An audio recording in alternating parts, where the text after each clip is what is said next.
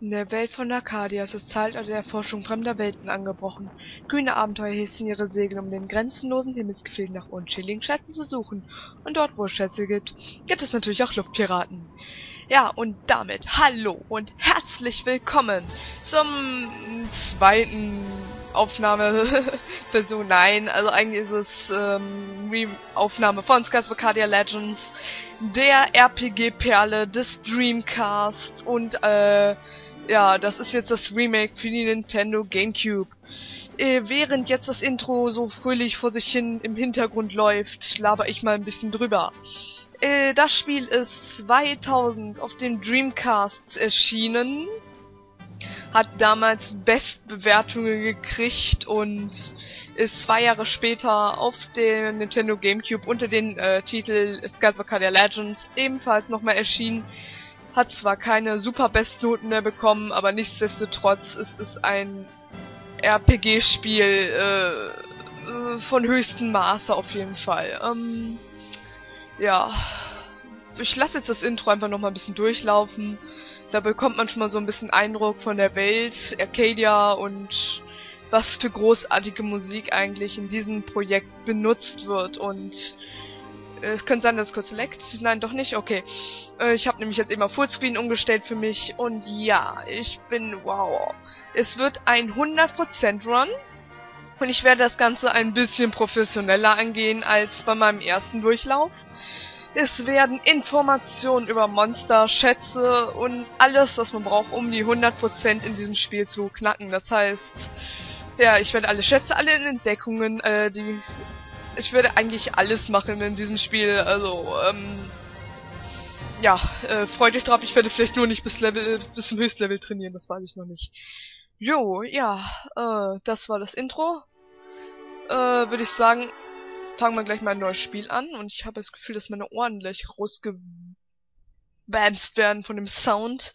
Aber stört mich nicht, ich liebe diese Musik. Äh, nein, die soll deaktiviert werden. Die Rumble-Funktion wurde deaktiviert. Sie kann jederzeit wieder ein- und ausgestellt werden. Ja, also, äh, die Nintendo Gamecube noch mit dem Rumble. nee, nein, danke. Also, wir sehen einen Mond. Wie wir im Intro gesehen haben, gibt es mehrere davon. Ja, ähm. Jetzt kommt das erste, die erste Cutscene. Wir sehen hier Alfonsos Flaggschiff. Allein schon die Musik erklärt uns, dieses Schiff ist gefährlich. Ja. ja, ähm, das soll auch gleich verdeutlichen, dass wir fliegen. Wir haben überall Luftschiffe, also deswegen eigentlich auch Skies of Arcadia und nicht Oceans oder Seas of Arcadia. Ja, und ähm, da gehen wir jetzt gleich auch mal in Alfonsos Flachtschiff rein. Flachschiff? Äh, Flaggschiff. da ist sie endlich.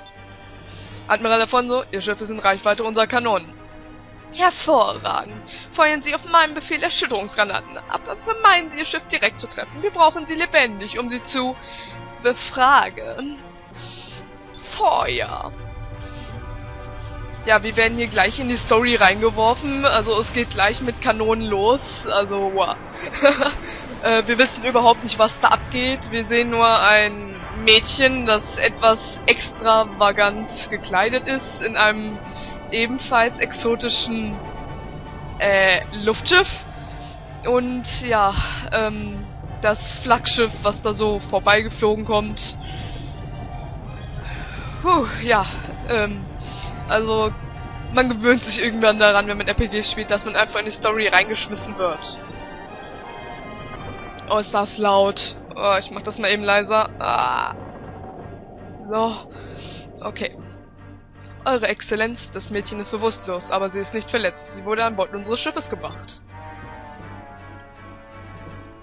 Ha, die Kaiserin wird sehr zufrieden mit mir sein. Ich werde sicher belohnt. Nicht zu knapp, denke ich. In der Stelle will ich mir eben erwähnen, Alfonso ist, äh, wie man ihn vielleicht ansieht, nicht nur Admiral. Also, dass er Admiral ist, sage ich jetzt einfach mal. Er ist Kommandant dieses Flaggschiffs, sondern er kommt auch aus dem Adel und daher ist ein gewisser Egoismus in seinem Charakter veranlagt.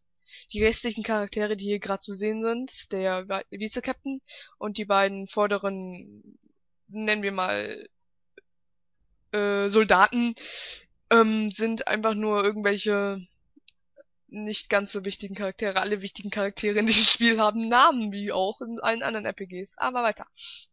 Was? Woher kam das? Es hörte sich an wie eine Explosion. Oh, Entschuldigung, falsch vorgegangen. Egal. Sofort einen Lagebericht! Der, der untere Rumpf wurde getroffen. Jemand greift uns an. Ja? Greift uns an? Wer würde es wagen, ein Schiff der kaiserlichen Armada anzugreifen? Es ist ein kleines Schiff, das sich in den Wolken auf Backbordseite versteckt. Diese Flagge! Luftpiraten! Ja, und gleich Auftritt von unserer Wenigkeiten. Wir spielen Weiß, den 17-jährigen Luftpiraten, der noch unter der Flagge seines Vaters fliegt und ausbeutet. Luftpiraten, deswegen geht da gerade dieses Schiffchen von dem einen Mädchen unter. Ähm, ja, das ist ähm, wie man vielleicht so aus Fernseh kennt, wie Piraten so eben ein Schiff entern, nur eben ohne Wasser. Ha, ich find's grand, also ich mag, jetzt kommt ein interessanter Sprung. Dieser junge Herr namens Weiß traut sich da ganz schön was. Luftpiratengesindel. Wisst ihr nicht, dass wir Soldaten der kaiserlichen Armada von Balua sind? Natürlich weiß ich das. Deshalb haben wir euer Schiff angegriffen. Ihr Typen habt das beste Zeugs. Und Spottern! Ich bin Meist von den Blue Roots und in ein paar Minuten werden wir euch all eurer Wertsachen entledigen. Was Blue Roots sind, das wird uns sogar nachher noch erklärt. Das lasse ich dann äh, Weiß und Eika, jetzt hab ich gespoilert, ähm, übernehmen, denn wir sind nicht alleine. Ja, das fragt der Soldat gerade. Genau, ich hab's gerade beantwortet, Soldat. Hey, ihr greift uns ganz alleine an, dann seid ihr unheimlich mutig oder unheimlich dumm. Wir werfen euch über Bord. Hat er die gesiezt? Egal. Ähm, wart auf mich. Genau, da ist Aika, unsere beste Freundin.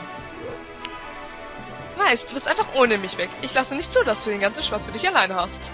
Oh, hi. Äh, ich bin Aika. Ich bin eine Bruce, wie weiß. Und wir sind dabei, euch auszurauben. Ihr habt die Dreistigkeit, euch über das Balloon Empire lustig zu machen. Tötet sie und werft ihre Leichen über Bord.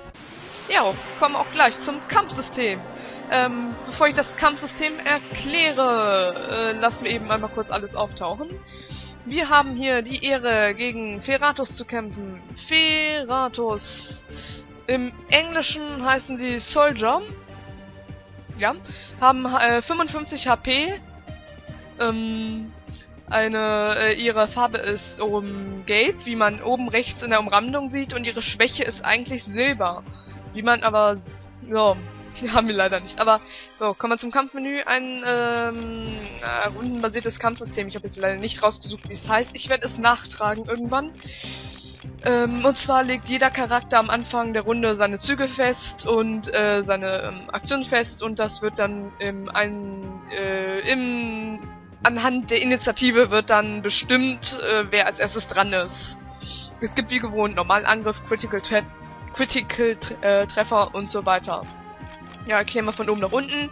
Rennen wäre, wenn wir in einem äh, optionalen Kampf sind, dass wir flüchten können. Ich werde versuchen, so wenig wie möglich zu flüchten, da das den Ruf des Luftpiraten senkt und so gegebenenfalls verhindert, dass man 100% spielen kann.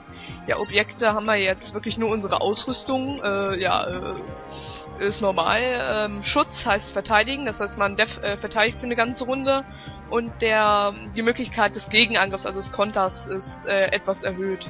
Ja, ein normaler Angriff ist ähm, erklärt sich, glaube ich, selbst. Ein Superzug ist ein ähm, Spezialangriff. Er kostet sogenannte SP-Punkte. Äh, wie man vielleicht hier jetzt nicht sehen kann, kostet ein Schwerterwirbel 7. Wie wir oben aber in der SP-Leiste gerade sehen, haben wir nur 2 von 8 äh, ich komme gleich nur auf die SP-Leiste zu sprechen. Magie ist äh, gewohnt äh, Magieangriffe. Wir haben keinerlei Magie momentan mit Weiß. Mit Eika, soweit ich weiß, auch nicht. Ich guck mal eben nach. Ähm, nee, Eika hat auch keine Magie. Äh, Magie, ja. äh, Magie kostet sowohl einen Magic Point, was unter dem Namen äh, rechts vom Level steht. Und ja. Und Fokus heißt, dass wir unsere ähm, SP-Leiste auffüllen. Äh, wir müssen nicht unbedingt Fokus machen, denn jeder Charakter, äh, der am Kampf aktiv teilnimmt, äh, sorgt dafür, dass automatisch Anfang jeder Runde ähm, sein Spirit Word dazugerechnet wird. Weiß und Ike haben jetzt jeweils einen, das heißt mit dem Fokus würden sie auch nur eins Punkt, einen Punkt draufgeben und oben würde dann jede Runde zwei dazukommen. Ja, und Ähm, dann gibt's noch das Farbsystem, also das heißt das Elementsystem. Äh, unsere Gegner haben Gelb, wir haben die Auswahl zwischen Rot und Grün. Die Farbe der Waffe beeinflusst auch, welche Magie wir lernen. Und ich glaube, ich habe jetzt genug erklärt. Ich denke mal, das erklärt sich von selbst. Ähm, wir haben zwei Gegner. Ähm, schmeißen auch gleich mal unsere Angriffe drauf. Ja, ähm...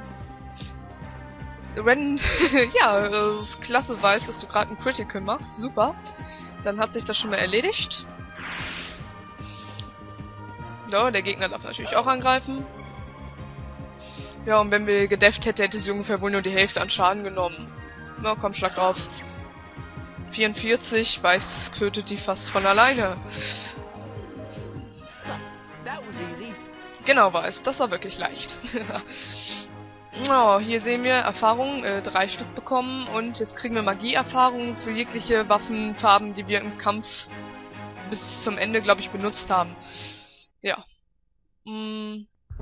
Und jedes Mal, wenn man ein Magie-Level aufsteigt, lernt man natürlich ein Level, äh, Level äh, eine Magie. Ähm, es hat keinen Zweck, sich uns zu widersetzen. Werft eure Waffen weg und übergebt euer Schiff.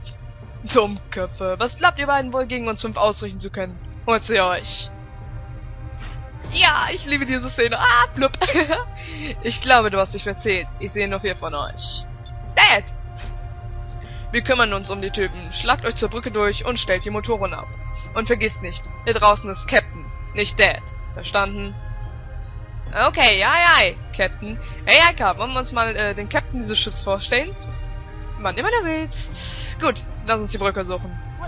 Ah ja! Entschuldigung, ich bin so gewohnt, er sagt dieses What's Go ganz oft im Spiel noch und wow, ich, ich mag den Sprecher von Weiß. Er sagt nicht viel, aber ich mag ihn. So, kommen wir zur 100% Challenge in diesem Spiel. Abgesehen davon, dass ich nicht die ganze Zeit abhauen darf, äh, gilt es auch alle Truhen zu finden. Es gibt Truhen, die sind wirklich einmalig, das heißt, diese Gegend kann man nur einmal betreten und Alfonsos Flaggschiff fällt darunter. Hier gibt es ähm, vier Schatztruhen. Ich werde jetzt noch einblenden, was in jeweiliger drin ist. Es gibt keine äh, Sidequests hier zu erledigen, weil wir sind am Anfang des Spiels. Und hier finden wir gleich erstmal einen Sakri-Kristall. Ja, Sakri. Ähm, ich habe jetzt leider keine Magie zur Auswahl, um das zu erklären. Äh, die Magie unterteilt sich eben die ähm, sechs Elemente. Waren noch sechs, oder? Äh, ich zähle mal eben nach. 1, 2, 3, 4, 5, 6, ja. Äh, sechs Elemente. Äh, grün ist Heilung und Gift. Rot ist Feuer. Blau ist Wasser und Luft. Gelb ist Elektro. Ähm, Popo ist Eis und Silber ist... Lasst mich kurz überlegen, das ist eigentlich die Macht des Nichts und entspricht somit der Erschaffung des Lebens und des Nehmen des Lebens. Es ist so, ähm, das werden wir dann alles sehen, wenn wir so Zauber gelernt haben oder wenn uns irgendwelche Gegner mit solchen Zaubern begegnen. Also dann, sieh mal an, die Luftpiraten wollen mein Schiff besuchen.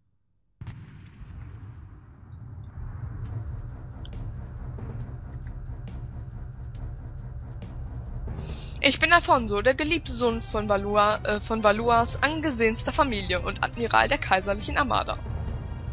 Äh, oh, hallo. Normalerweise wird Halunken wir euch nie der Genuss zuteil, solcher Größe zu begegnen. Schätzt euch glücklich darüber. Äh, ja, sicher. Wer ist das Mädchen? Ich hätte nie gedacht, dass sich jemand deines Kalibers auf Entführungen einlässt. Ha! Für einen Blue ist gar nicht so dumm. Ich kann dir doch nicht meine Zeit mit dir verschwenden. Ich muss jetzt los. Ich denke, ich werde euch ausrotten lassen, wie es sich für Ungeziefer wie euch gehört. Weg mit ihnen. Entschuldigung, ich habe über seinen Sprecher gesprochen. Oh. Ja, jetzt bekommen wir es mit einer anderen Sorte von Gegnern zu tun. Mehr wird es hier auch nicht geben. Und zwar heißen sie in dieser Version pra Praises, glaube ich oder Praeses, äh, ich glaube aber sie heißen Praises. In der englischen Version hießen sie noch Guard, also Wächter, haben 30 HP, eine Sch äh, ebenfalls äh, Gelb, also dieselbe Schwäche Silber, wir können sie nicht ausnutzen. Ja, ähm, fangen wir auch gleich mal an, sie kaputt zu hauen. Sehr viel wird man hier in diesen ersten Kämpfen nicht machen. An Bord von Alfonso's Schiff gibt es tatsächlich nur zwei Random-Gegner. Das sind einmal äh, die Praises und die... Ach, ich nehme die englischen Namen. Ähm, die Soldiers und die Gods, ähm, mehr wird es hier nicht geben. Wie man vielleicht merkt, sind die ähm, Phrases äh, ein ganzes Stück schwächer. Ähm, ich weiß nicht genau, wie die auf diese Übersetzung kamen. Ähm, also Zufallskämpfe gegen Gegner, die wir schon kennen, werden rausgeschnitten von mir. Die sind völlig uninteressant, wenn wir tausendmal einen und denselben Kampf so gesehen sehen würden. Ja, und äh, es gibt neben dem Bodenkampf, den wir jetzt erleben, sogar noch später eine andere Art von Kampf, die, ich würde mal sagen, interessant ist, aber sich sehr zieht. Ich überlege noch, wie ich das interessanter mache für ein Let's Play. Ja, gut, wir lernen gleich mal Level Up, maximal HP ab, Kraft, Mut und Vitalität ab, Schnelligkeit ab also, und ja, äh, Aika lernt auch so gleich Sakri, das tut sie storybedingt schlicht und einfach. Ähm, ja. Jetzt gilt es eben, die restlichen Schatztruhen hier zu finden. Das da vorne ist die zweite. Sakri, danke. Jetzt muss ich kurz überlegen. Ähm, wo war denn die andere? Uh, ich will jetzt keine vergessen hier. Ähm, Ah, da vorne, gut. ähm, ja. Random Kampf.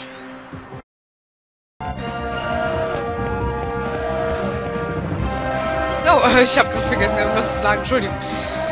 Was? Wie habt ihr meine Soldaten besiegt? Hey, äh, wenn ihr mein Schiff unbedingt wollt, könnt ihr es haben. Ich hole mir ein anderes. Äh, ich habe viel zu tun. Ich habe keine Zeit, mich persönlich mit euch zu befassen. Wenn ihr mich jetzt entschuldigen wollt. Nein, nein, nein, einfach, nein, einfach, einfach, ja, jetzt haut er einfach ab. Egal. Ja, unser Ziel ist nicht, ihm sofort zu folgen, sondern diese Schatztour da hinten. Yay. Was ich sagen wollte, äh, was vielleicht noch fehlt. Und zwar, im Gegensatz zum Original Dreamcast-Version ist der Random-Encounter runtergestellt worden. Das heißt, es erscheinen weniger wilde Pokémon, ähm, freie Kämpfe, wie der hier. Also wie ich sagen wollte, es erscheinen weniger wilde Kämpfe ähm, auf, äh, optionale Kämpfe als in regulären. Ja, wir haben da einen Speicherpunkt. Ich werde mir aber eben erstmal die Truhe schnappen. Mm. Und hier erstmal jetzt kommen wir erstmal nochmal hier zum ähm, Startmenü. Eben schnell erklärt. Äh, hier werden alle Charakter und später auch noch äh, das Schiff aufgeführt. Hier können wir sowohl unsere ganzen äh, Stati als auch ähm, Ausrüstung und nächste Erfahrung und so weiter. Hier kann man eigentlich alles nachgucken. Ähm, es gibt noch ein Tagebuch, äh, das dürfte aber noch nichts drinstehen. Ja, ähm, wir nutzen eben einmal schnell mit Alka Magie, ähm, denn es gibt keine Spirit Points, die wir verschwenden könnten außerhalb des Kampfes. Und heilen eben mal kurz beide schnell auf. nutzen auch gleich direkt das gefundene Magic Droplet, um Alkas MP wieder aufzuladen. Es ist absolute Verschwendung, ich weiß, aber ich tue es einfach. Und speichere hier auch gleich mal ab. Jetzt muss ich eben gucken, ist hier mein... Mm, ja, hier unten ist es direkt.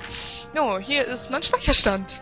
Gut, ähm, ich würde sagen, das reicht auch für Part 1. Als nächstes, ja, kommt es dann gleich auch schon zum ersten Endboss. Aber das reicht erstmal für diese Aufnahme. Also, ciao.